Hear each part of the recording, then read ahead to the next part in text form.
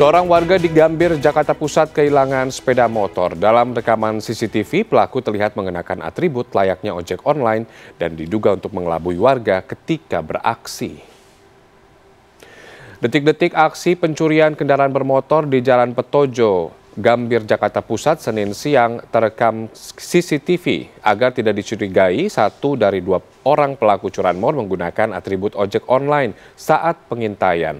Setelah yakin situasi aman, pelaku motor pelaku mengincar uh, motor. Sampai dua menit motor korban sudah dibawa kabur oleh pelaku. Berbekal rekaman CCTV, korban berencana melaporkan musibah yang menimpanya selasa ini.